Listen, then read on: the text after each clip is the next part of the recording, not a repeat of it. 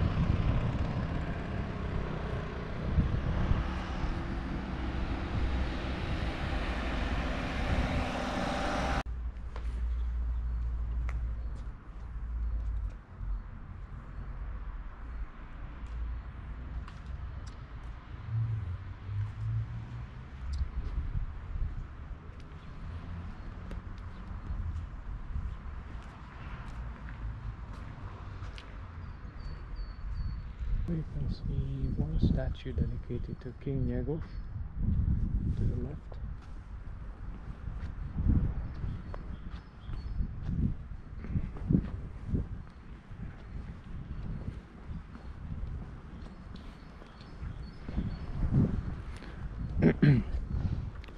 Pretty much everything is uh, written in the old-fashioned churchy Cyrillic writing.